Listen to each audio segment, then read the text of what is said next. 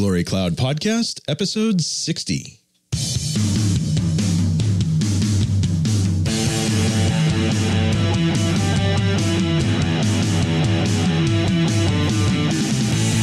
Stay tuned for more discussion of Kingdom Prologue this week.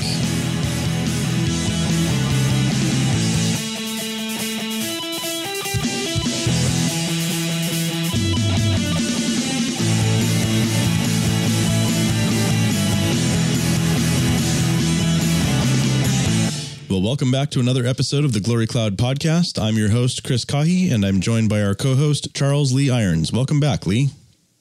Hello, Chris. It's great to be with you again. Well, I'll just run through our regular housekeeping before we get started. Uh, please do visit our show notes page over at meredithkline.com slash podcast. There you will find all of the resources that we list and mention during the episode.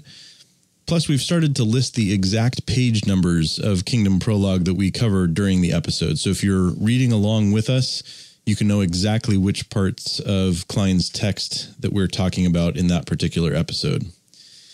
Uh, thank you again to all of our generous donors. We really do appreciate your help in keeping this podcast going and for your encouragement. If you aren't able to donate money, you can still help us out by giving us a five star rating on iTunes and by subscribing to the show on your favorite podcatcher. Those two things, the ratings and the subscriptions, really help us rise to the top and stand out to people who are looking for good theological content in their podcasts. If you are able to donate money and you would like to help us cover the monthly cost of hosting the audio files, you can go to meredithkline.com slash podcast and you will find a donate button on the right hand side of the page. This week, we are on to a new section of Kingdom Prologue beginning on page 66 entitled Theocratic Kingdom Commission. And today we're going to start to get into some of the cultural mandate. So, looking forward to that discussion. Yeah, so this is uh, a really meaty section of Kingdom Prologue, and there's a lot of good stuff in here. Uh, just to remind people where we're at in uh, the structure here, this is chapter three of uh, the section dealing with the uh, covenant of works or the covenant of creation. And Kline is using the ancient Near Eastern treaty structure to outline his treatment of that. So, uh, chapter one was parallel to the preamble of the ancient Near Eastern treaty, in which the suzerain identifies himself. Uh, chapter two was uh, based on the historical prologue section. And now we're in chapter three, which is parallel to the stipulations section of the suzerain vassal treaty. And just like the uh, suzerain vassal treaties that have both basic and specific stipulations, Kline also uh, subdivides this chapter into two parts. So the basic uh, requirement of the covenant of creation we dealt with last time, uh, which is the imitation of God principle and loving God with all of our heart. And so now we're coming to the specific stipulations, which is the cultural mandate. So there's a lot packed into Genesis 128, right? Where we mm-hmm. see God tell Adam and Eve to be fruitful and multiply and fill the earth. Mm-hmm. Yeah, Genesis 128, God blessed them and God said to them, be fruitful and multiply and fill the earth and subdue it and have dominion over the fish of the sea and over the birds of the heavens and over every living thing that moves on the earth. And we could also tie in a verse in the next chapter, Genesis 2, verse 15, that ties in with that. It says, The Lord God took the man and put him in the Garden of Eden to work it and keep it. Okay. And it's not accidental that this is situated in God's fiat fulfillment pattern that we've been seeing uh, mm-hmm. in chapter one, where God says, Let there be. And lo and behold, it was. And mm-hmm. um, seems that God is using his human creatures to do the fulfillment part of his his fiat there. Mm-hmm. Yeah, that's right. Uh, in the fiat section, God addresses the heavenly council, uh, in which he discusses his plan of creating an image bearer with royal glory, just like the council has. And then in the fulfillment section, God addresses man and then repeats the plan to them. So verse 28 is parallel to that's in the fulfillment, but it's parallel to verse 26 in the fiat uh, section. Let us make man in our image after our likeness and let them have dominion over the fish of the sea. It's almost the same wording. Um, although I think the difference is that it doesn't say be fruitful, multiply, and fill the mm-hmm. earth and subdue it, but it does have the rest of it about exercising dominion. Okay. So the the point that Kline is bringing out from that is that uh, God is the great King, and He is seated on His throne, addressing the heavenly council. And in the fiat section, He's saying, "Let's make someone in our image who has the same royal dominion and authority that we have, that that God has in the midst of the heavenly council." So that means that in the fulfillment section, when God addresses man and gives him the mandate, that means that it's a royal mandate. Just as God is the great king, man is the vassal king. And another way of saying that is he's the image of God. Image and vassal king are uh, correlative concepts. And so the cultural mandate, therefore, is a royal mandate to exercise dominion over the earth in God's name and under God's authority as a vice regent under God. Okay. So we don't encounter the verb to rule here like we do with some of the animals, but I mean, you do get with subdue and dominion, uh, mm-hmm. especially being made in God's image, you still get that uh, that royal dimension to it. Right. Okay. So um, there are a couple of aspects to this mandate that God gives to his human creatures. Um, and the first of those is procreation, that they're to be fruitful and that there mm-hmm. should be more human creatures. Yeah, that's pretty obvious, right? Be mm-hmm. fruitful and multiply. It's a, a basic thing, and it's easy to kind of overlook that. And I think that uh, Kline draws our attention to it to say, look, this is really the most important aspect of the cultural mandate. And this is one of the key things that distinguishes man from the angels. Uh, the angels are not a race of beings that procreate, but man is a race. And so there's this genealogical process that continues throughout history. In fact, that's kind of what the, the fact that there are gene that there are generations that follow one after the other is sort of what creates history itself. And uh, Kline even says that um, that's why the genealogies are so important in the Bible. In fact, genealogies are sort of the the first case of history writing. That's what history is. Is hmm. well, so and so had a son, and and then they had a son, and so on and so on. And so that's a very significant part of man's uh, character and calling and his his purpose. God made him to to procreate and to reproduce that image. I I really enjoy the way Kline puts it on page sixty nine. He he talks about how um, Adam and Eve uh, were different in this respect from the angels, who are created a host but are not a race. Mm-hmm. Man is created not a host, but one pair, a male and female, one flesh in their marriage union, who by multiplying themselves become a host that is also a race. Mm-hmm. This vital genealogical process is the central motif of human history. Man himself is the chief end product of human culture. Mm-hmm.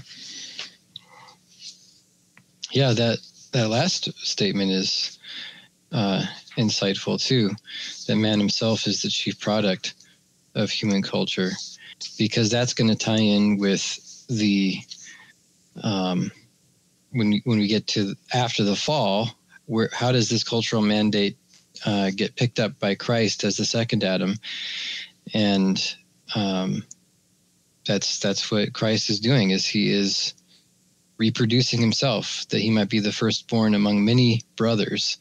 Romans eight twenty nine, and so it's this idea of reproduction that is so important. And and you know, I mean, when you think about the new creation fulfillment of the cultural goal, the cultural mandate, the primary purpose, the primary endpoint is a glorified humanity. Yes, there's a a recreated, glorified creation, the new creation, but that's simply the environment for a new humanity, the new Jerusalem coming down out of heaven for from God like a bride adorned for her husband. So it's the people.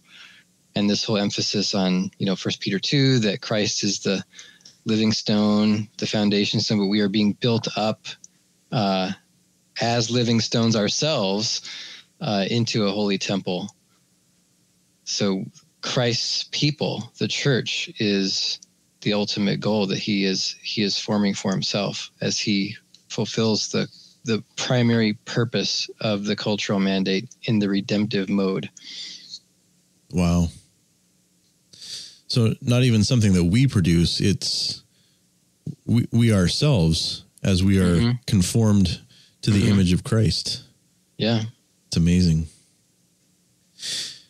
Okay, so that's the first aspect. Um, and so the second aspect comes in the the second half of Genesis 128, and that's the subduing of the earth. Mm-hmm. I love the yeah. Hebrew word there, the kabosh. Mm-hmm. to put the kibosh on it. Yeah, okay.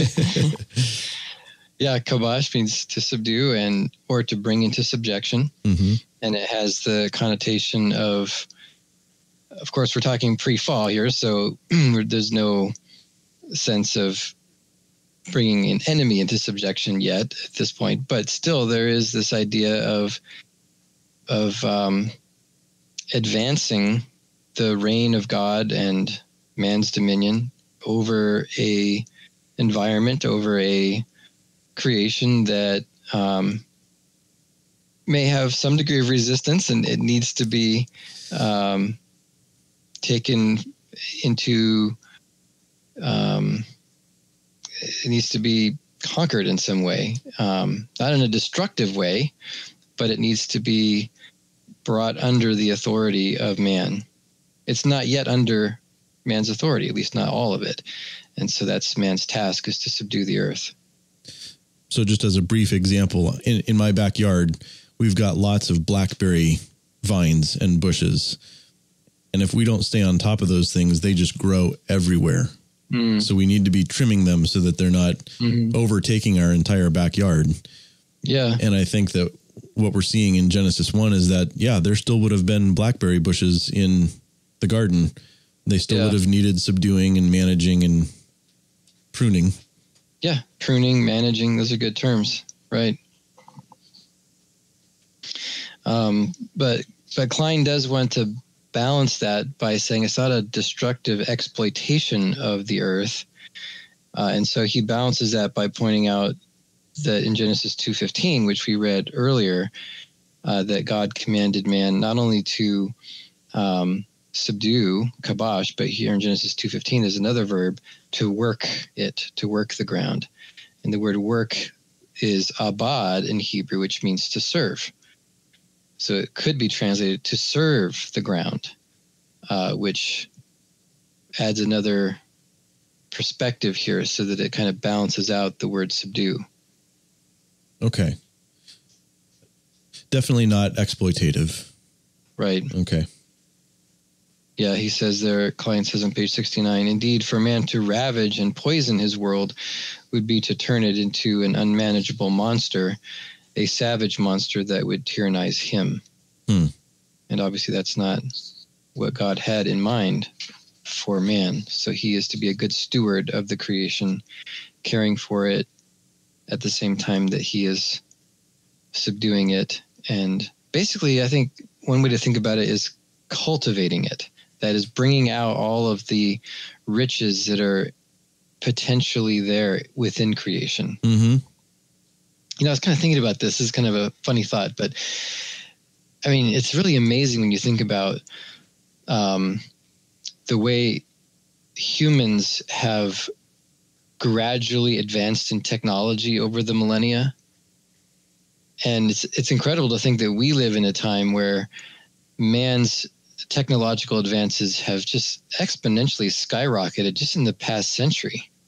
You know? Just parabolically, yeah. Yeah, I mean um, motor vehicles, airplanes, uh, nuclear power, all these things happened in the 20th century.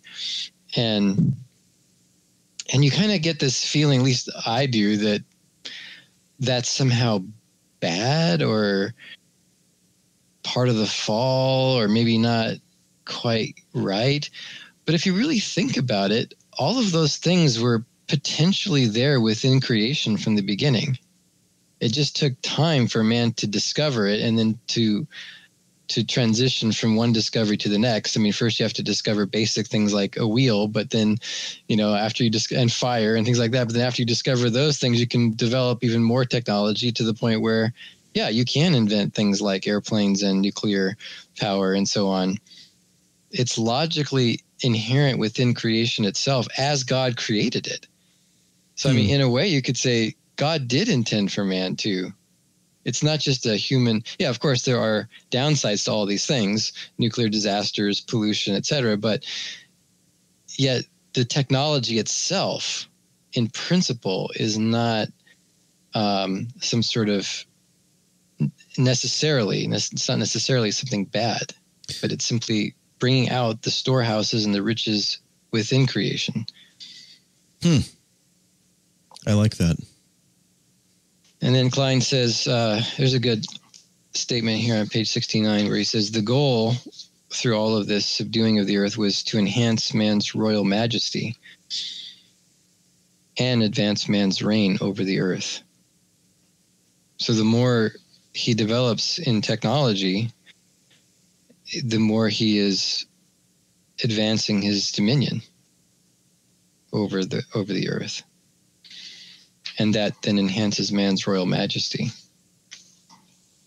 And the goal of it all, according to Kline, was not just simply limited to the Garden of Eden, but it was to um, achieve ultimate, uh, what he calls maximal global mastery. It was to extend the garden to uh, the entire globe he says, uh, page 70, the cultural mandate put all the capacity of human brain and brawn to work in a challenging and rewarding world to develop the original paradise home into a universal city. Okay. So this is what we've talked about in previous episodes as megapolis. That's right. Right. This is megapolis. Kline doesn't introduce that term yet. uh, that comes in later in Kingdom Prologue, but in but the idea is here. Yeah, the, yeah. I mean, you, you can see the seed of it that um, if Adam is to be developing uh, technologically, and if he's to be subduing everywhere that he goes in the in the cultivating sense, um, then the entire world would at some point be a- Adam's kingdom um, mm-hmm. Mm-hmm. fit for for Adam's throne. Yeah. Okay. So, as he develops the world that God has placed him in, um, he's there with Eve. So there's necessarily um, human relationship, mm-hmm. and that means that there's going to be I mean, I guess we can use the word polity. There really isn't um, there aren't institutions like the state prior to the fall like we know now. Right. But um but there would be uh, at least marriage. Mm-hmm. Right? And and Kline um really formed my thinking in talking about how it wasn't just that a marriage ceremony happened after God created Adam and Eve. I, I guess this might even be parallel to how covenant wasn't something that uh, God made after He had kind of finished creating everything. It it was the way that He created everything, and so mm-hmm. marriage was the environment into which He created Adam and Eve. Mm-hmm. Yeah, I mean, you do, you still do have sort of a primitive marriage ceremony there. You know, when God uh, brings all the beasts of the field to Adam, and you know, brought brought them to him to see what he would call them, and uh, there was no helper found for him. So then the Lord God caused a deep sleep to fall upon him, and took out one of his ribs, and fashioned the rib into a woman. And it says, and he brought her to the man. That seems like a primitive marriage ceremony there. Um, and then you have Moses's commentary. Therefore, a man shall leave his father and his mother and hold fast to his wife, and they shall become one flesh. But you're right. I think that there's also an aspect to which um, this is not something added on to creation. This is part of creation itself. The marriage ordinance is a creation ordinance, mm-hmm. and and it is uh, even. I mean, another point too that, that tightens what you're saying is the fact that marriage is a covenant, right? And so, if if we accept Kline's premise that the covenant is not an add-on to creation, but is part of creation and built into creation, then that ties marriage into creation as well, since marriage is a covenant. Oh, and then marriage can can be used later in Scripture as a way of describing the covenant between God and His people. That's right. Yeah, it was a, a statement that he made on page seventy-one. Mankind was virtually created a family in that first human in that the first human pair was created not just male and female but husband and wife. Mm. good uh, point. Yeah. but, but i don't want to deny what you're picking up on in in that um, narrative about god bringing eve to adam and um, that's helpful. I appreciate that. Mm-hmm. Yeah, well, if you think about Genesis 2 being another literary description of what was already narrated back in Genesis 1, right? Genesis 1 says, verse 27, God created man in his own image. In the image of God, he created him. Male and female, he created them. So it already mentions male and female, right? Mm-hmm and then you get to Genesis 2 and you find out that there's a little bit more it kind of gets focused in a little bit more detail here on what that means the male and female part. Well first adam was created then eve was created out of his rib. So that's what it means when it says male and female he created them. But then that reinforces your point that he created them male and female or as kline says not just male and female but as husband and wife. Right because that second and that second account in Genesis two brings up the husband and wife aspect of it that is only um, hinted at in Genesis one. Mm. Uh, Kline also points out that the word cleave, well, in, in my ESV, it's not translated cleave, it's translated hold fast. But uh, in the King James, it's cleave. Men shall leave and cleave, right? Right. and uh, but Kline points out that that same verb to cleave or hold fast is used later on in scripture as a description of the covenant relationship between God and Israel in Deuteronomy 10, verse 20, and in other places as well, in which um, you know Moses is exhorting the people to to hold fast to the Lord. You shall fear the Lord your God. You shall serve Him and hold fast to Him, and by His name you shall swear. I mean, it makes sense because when Israel ends up being unfaithful, God uses the the antonym for cleave. You know that that Israel has been maritally mm-hmm. unfaithful to him. Right. Yeah. And Malachi 2:14 is also relevant here because it uh, uses the word covenant in relationship to marriage. It says, The Lord was witness between you and the wife of your youth, to whom you have been faithless, though she is your companion and your wife by covenant. The King James says, The wife of thy covenant.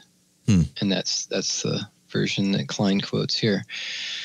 Uh, but however you translate it, there's it's clear that um, you know, in Malachi, the context is literally talking about the the Jews and how they were being unfaithful to their wives, and so um, this helps us to see the idea that marriage is a covenant,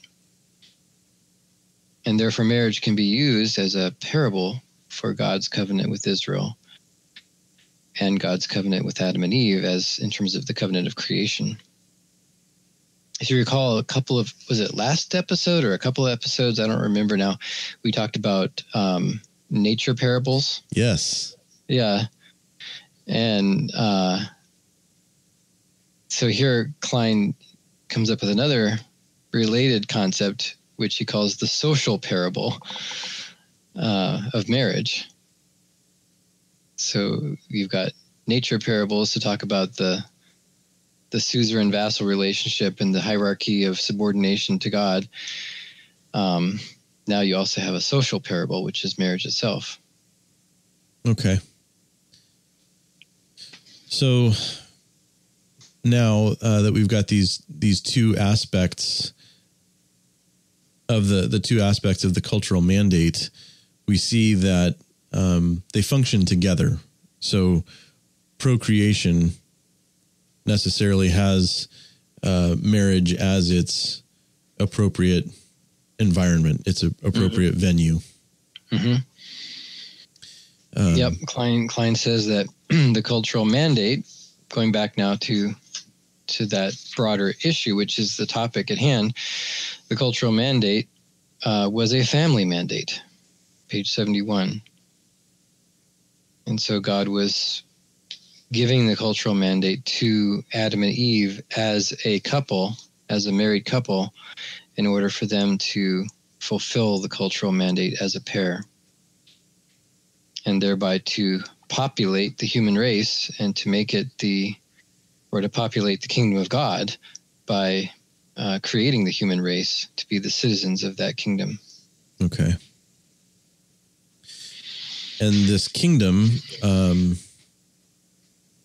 as it takes its earthly form as Adam and Eve um, exercise mm-hmm. dominion over the earth is going to have some semblance of, of government as well. Mm-hmm. Mm-hmm. Yeah, you used the word polity before. Kline mm-hmm. uses that word too. And uh, so, yeah, there's some kind of uh, uh, there are authority structures. There we go. In uh, the pre-fall organization of the kingdom of God and the the two main ones are um, the parental authority of the uh, the parent over the child, and the marital authority structure of the husband over the wife. And then you could even say there's another structure that kind of blends those two together, which is the family itself. The family is just a combination of both the parental and the marital authority into a larger unit. Okay. And then that, the family structure, gets replicated to even larger structures, leading to tribes. And so Kline points out that when you get to the redemptive version of all of this in the Mosaic economy, uh, you see that one of the main things that Israel is supposed to do or actually that Jacob is supposed to do, is to create tribes. And uh, it's not just families, but broader units. So it's a tribal family unit as well. Okay. So Kline uses that as a way to try to read back into the pre fall situation to see what would have happened if Adam had not sinned. But yeah, let's go through these these two a little bit more detail here: the parental and the marital. The parental authority structure is um, has two aspects to it, just as we saw with the word subdue being balanced by the word serve. Subdue in Genesis 1:28, balanced by serve or cultivate in Genesis 2:15. Kline sees the same thing here with these authority structures. So there's a two-way street here. In the parental authority structure, one aspect of it is the parent's responsibility to care for the child or children, but then that's balanced on the other hand by the parent's authority over the child. I, I imagine that in a pre-fall context, there's not there's not a tension between those two things. Exactly. I mean, there is in post-fall, right? In post-fall, it's like the the authority of the parent becomes unwieldy, and pretty soon you start having abusive parents. You know, right? Um, and the the caring aspect gets swallowed up by the authority aspect but that would never have happened pre-fall and uh, vice versa children would not have rebelled against their parents authority the proper authority of the parent would not be an onerous thing for the child but the child would take it as um, part of the parent's loving care hmm. and true authority is wielded in properly caring for the child, right? Right. So I'm seeing that as we discuss it. It's just uh, it's so foreign to the yeah the existence we have. Yeah. But uh, so we can see that same dynamic at work in the marriage relationship as well. Exactly. There's yeah. uh, love and care for and authority over and those two things are not contradictory or mm-hmm. in tension with each other. No. But again, after the fall, they do become in tension, and God even mentions that in Genesis 3, verse 16. Speaking to the woman, he said, Your desire shall be contrary to your husband, or shall be uh, for your husband, or toward your husband, but he shall rule over you in a in a way that's not properly exercising authority, but in a way that's tyrannical and and um, so you can see how the fall distorts the way things should have been before the fall. Right. But before the fall, the husband's responsibility to care for the wife was a self-sacrificial self-sacrificial love and at the same time balanced by the husband having authority over the wife. And Kline appeals to 1 Corinthians 11, verses 8 and 9, to bring this out. He says, For man was not made for woman, sorry, from woman, but woman from man. Neither was man created for woman, but woman for man. So Paul is appealing to the creation pattern to to show that there was an authority structure between the husband and the wife before the fall. Woman was created for man, not vice versa. I know that sounds horribly sexist and patriarchal and all that from in today's culture. It just sounds so shocking to say, but that's what the Bible teaches. Right. Man was not made from woman, but woman from man. Neither was man created for woman, but woman for man. And that's the argument that Paul makes when he talks about authority and roles within mm-hmm. the church. Mm-hmm.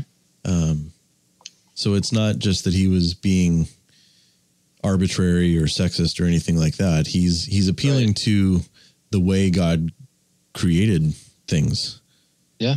So, and you could argue that Paul got that from his reading of Genesis 2. Exactly.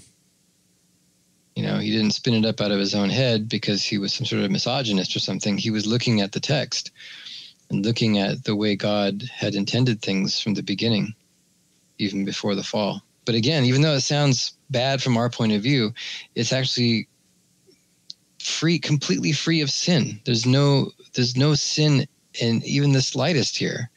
And Adam's authority over his wife was intended to be and and until he sinned and abdicated that authority, it was perfectly uh, self-sacrificial and caring and loving and a proper exercise of loving headship and responsible care for his wife.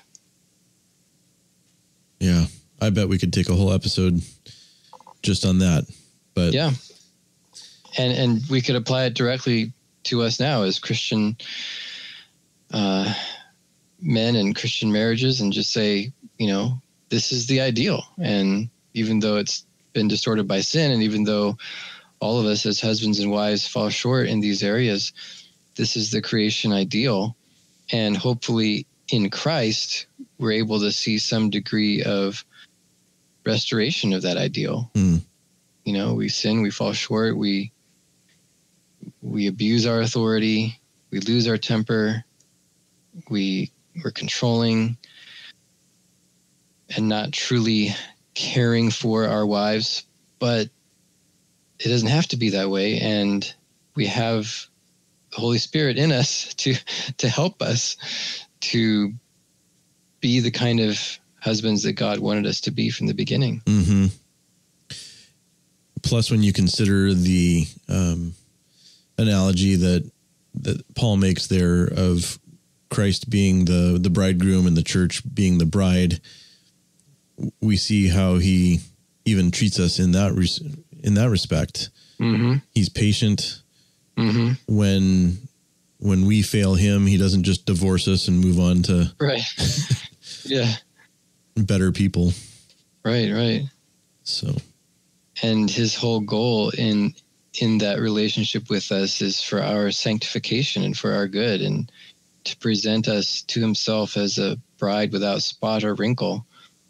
And so in the same way husbands should love and care for their wives exercising that god-given authority not for their own selfish ends as in hey go make me a sandwich right now but you know as in i'm i want what is best for you. I want you to to grow in christ and to to um to be like christ just as i am also pursuing that same uh, imitation of christ in my own life right. as a loving husband.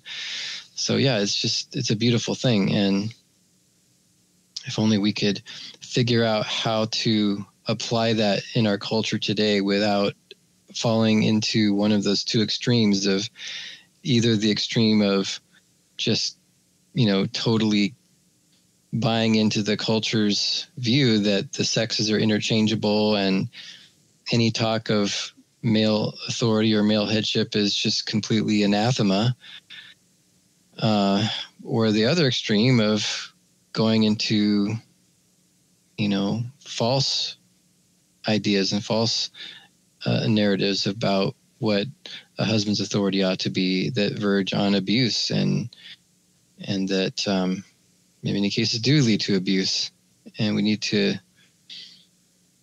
to look at the creation ideal and then see how that creation ideal is being restored in Christ. Amen.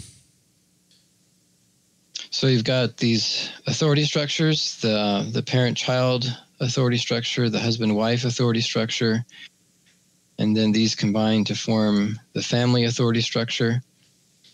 And uh, this leads Kline to a nice little uh, Paedo Baptist aside here, where he says that this um, uh, idea of parental authority within the context of the family is a constant under the various administrations of the covenant of grace post fall. And so, even though there are major differences between the old covenant and the new, uh, this issue of parental authority is one of the things that is the, that is the same, that is a constant.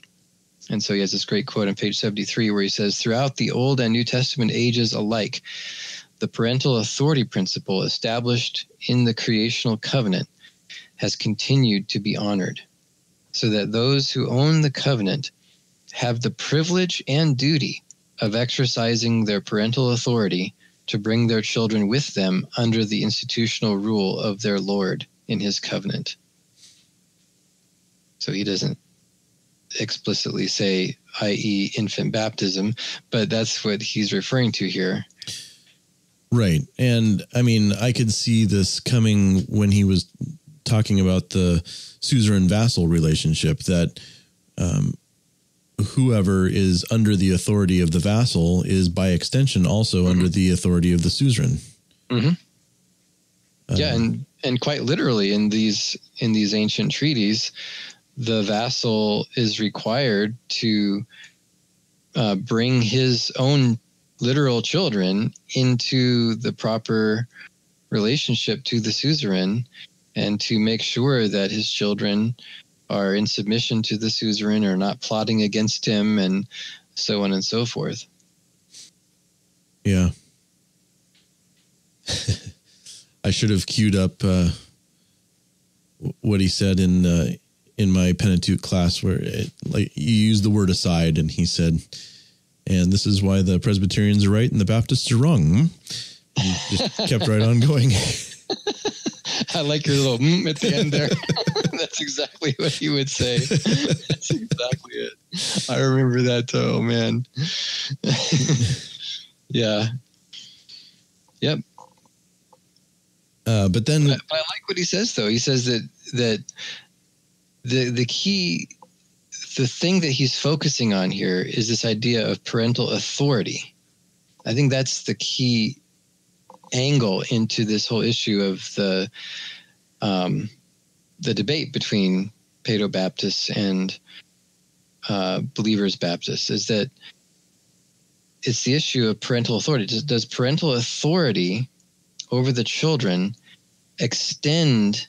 Obviously, even Baptists would agree that parents have parental authority just in terms of general discipline. Sure. But does it extend even to the issue of their relationship to the covenant?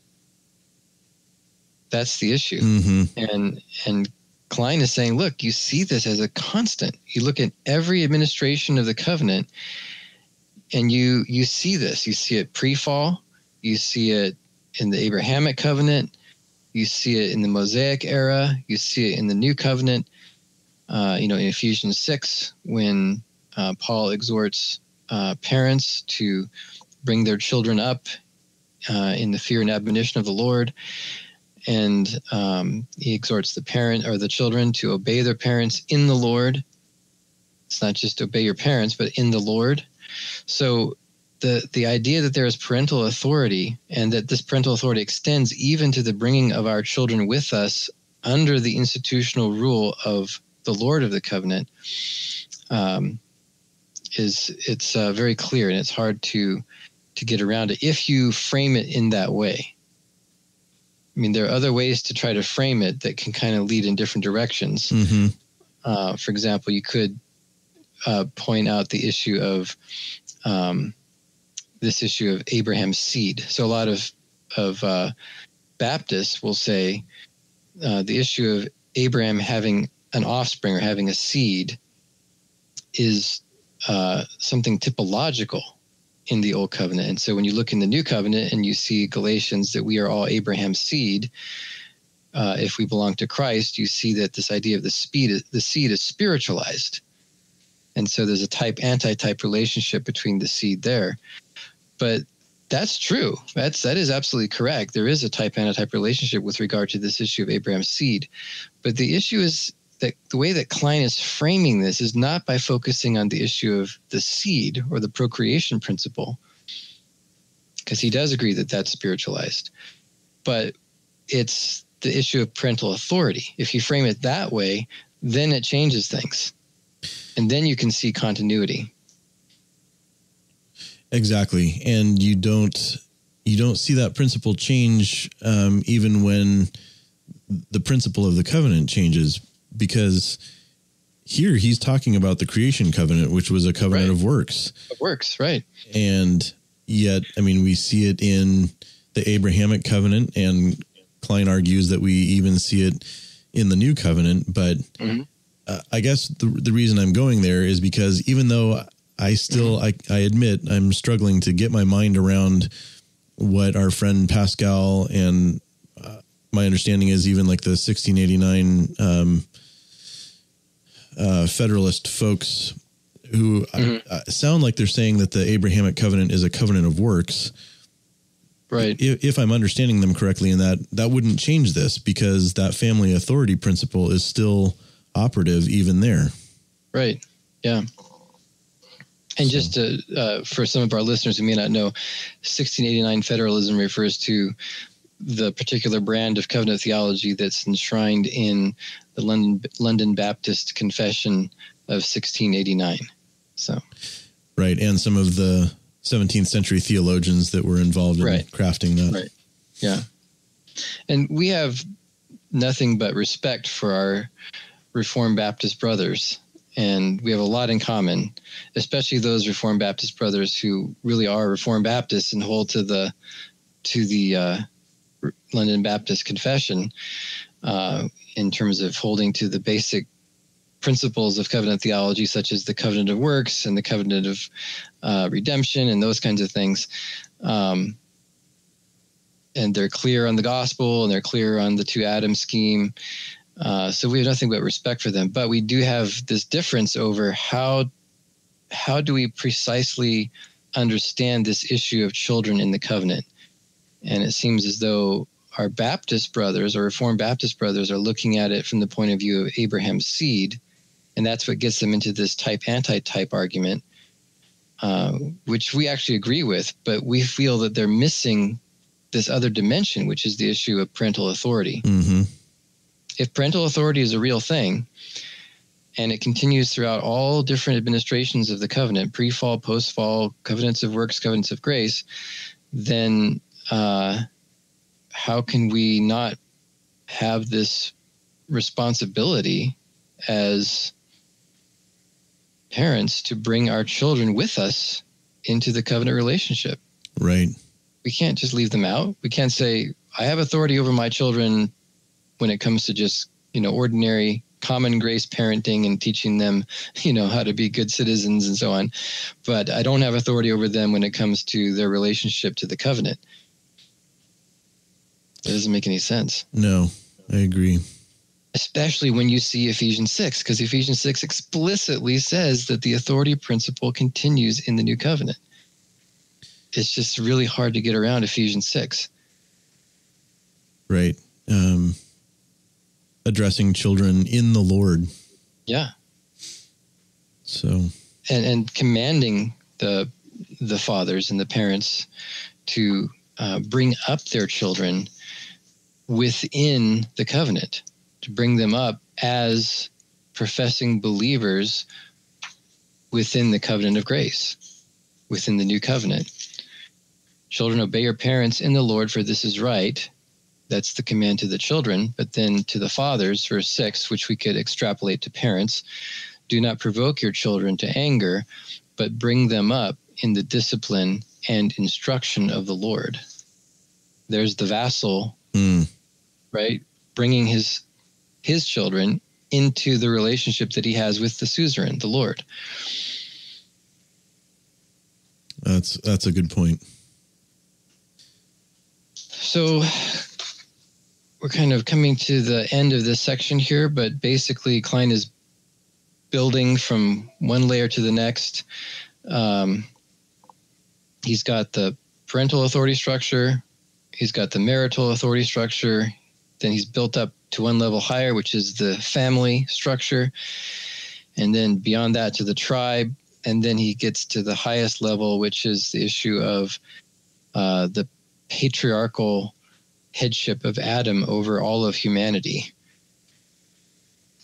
So again, we're still talking pre-fall. We're still envisioning what things would have been like if um, the cultural mandate had continued uh, without a fall, uh, presumably even uh, when we're getting to the issue of Adam's confronting of the serpent. Let's say he had passed the test uh, and had exercised God's uh, judicial authority upon the serpent. Then Adam would have done so as the federal head or patriarchal head of the covenant community. So this is on page 73. Kline says a distinctive element in the government of the Creator's covenant of works with Adam was the feature of federal representation. Adam, father of all mankind, was patriarchal head of the covenant community in the sense that he acted in a representative capacity for all in his probationary response to the Creator's claims and demands. So this is a little different than the authority principle, but it sounds related. Right. I mean, as these human creatures are are growing into a race and a host, Adam has authority over all of them and is mm-hmm. responsible for them in the sense that what he does counts as mm-hmm. as what they do. Yeah. What do you think about Kline's argument here that Adam would have been a patriarch of the human race? Or the patriarch, the yeah. patriarchal head. I mean, I I think that's a helpful way to talk about this federal representation. Yeah. I, I guess maybe that that word might be why I'm connecting this federal representation with the authority principle. Yeah.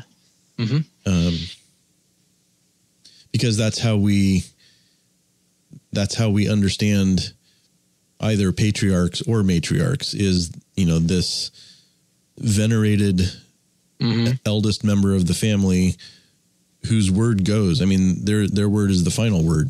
Right. Yeah. So. Yeah i'm, I'm kind of reminded here of um, some reading I've done in the work of Charles Hodge in the 19th century when he was debating with um, the New School theologians who rejected the federal headship of Adam and the idea of the imputation of Adam's sin. Mm. And he wrote a lot about this in you know various journal articles and in his systematic theology. But I think Hodge distinguishes between um, Adam's role in terms of his natural uh, headship as the literal patriarch of the human race coming from him by ordinary generation and the federal headship of Adam. So he distinguishes between patriarchal headship and federal headship, or natural headship and federal headship, and that the federal headship would have been based upon the natural. Okay. Like the reason God chose Adam to be the federal head is because he's the patriarchal head and the literal progenitor of the human race. But he would um, Hodge, not Kline. I think Kline would agree with Hodge, but I'm talking about Hodge now. Hodge specifically wanted to distinguish those two concepts, at, at least at a conceptual level, and to say that there had to be a specific divine ordination of Adam as the federal head uh, within the covenant, within the covenant of works or the covenant of creation, in order to um, create the possibility then for uh, the imputation of Adam's obedience if he had done that mm-hmm. or his disobedience, which we know is actually the case. Okay. Is there anything helpful in that regard that we can link to in the show notes? Yes, I think so. Okay, we'll put some of that in the show notes then. So Kline is arguing then, kind of going up through these levels from the the, the lowest to the highest, that um, that the polity of the pre-fall covenant community was a theocratic family, with Adam as the head patriarch over the family. And he also points out that all members of the creation theocracy were kings and priests unto God, uh, not just Adam, but all members were and he ties that in with you know exodus 19.6 where god says the same thing about israel that they are a kingdom of priests uh, to God. Um, although he does point out one interesting little detail here on page 74, which is that although uh, Adam and all of humanity would have been priests, um, they were not mediatorial priests. Okay, I was going to say something about that. This isn't a yeah. an atoning a priesthood of you know doing a, a work of atonement, but it's about worship, right? Right. Yeah. it's uh, engaging. So Kline distinguishes between cult and culture. Mm-hmm. The cultic aspect is the priestly role. The cultural aspect is the kingly role. Cult has to do with our vertical relationship with the Lord, and uh, culture has to do with our horizontal relationship with other humans and with um, creation. And so he would say that Adam and all of humanity would have been priests in the sense of engaging in that cultic dimension of doing all of their culture with a vertical aspect to it. That is bringing all of their cultural activity as tribute to God and laying it at his feet and honoring God as the Lord of all and consecrating everything to his glory and to his honor, but not as a mediatorial priesthood where a priest stands on behalf of those whom he represents before God and um, atones for sin. That can only happen after the fall. Okay. I guess you could say maybe Adam had something sort of mediatorial just by being a federal head and a representative of the human race. But that's still distinct from the idea of mediation, right? Mm-hmm. Where you have, like, the Levitical priesthood is a picture of the mediatorial priesthood of Christ. Um, that that can only happen after the fall. Yeah, so Kline even addresses that here on page 74. He says, In the original sinless situation, there would have been no mediatorial priesthood. Adam had a special representative status in the probation event, but with reference to continuing priestly vocation, Adam's patriarchal status would mean no more than that he was a primus inter pares in the universal royal priesthood of the original holy theocratic family of mankind. The Latin there standing for the first among equals. Yeah. So he's saying that, yes, Adam had a special representative status, but only in the probation event. And then once that was done, if he had passed probation, then his continuing priestly vocation would not have been anything different from from the others that is the rest of humanity. Hmm. Wow. All very interesting stuff. Um, I think that's a good place to to pause for this week. hmm So, um, yeah, we're uh, we're definitely wading into the cultural mandate, and we're going to be talking more about uh, megapolis in the coming weeks. But uh, That'll be fun. yeah, I'm looking forward to it. Well, thank you, Lee. I appreciate the discussion. Yeah, thank you. All right, everyone. Thank you for listening this week. Um, you can email us at glorycloudpodcast at gmail.com, or you can head on over to the Meredith Kline Facebook group and let us know that you listen to the podcast so we can add you there. And let's continue the discussion.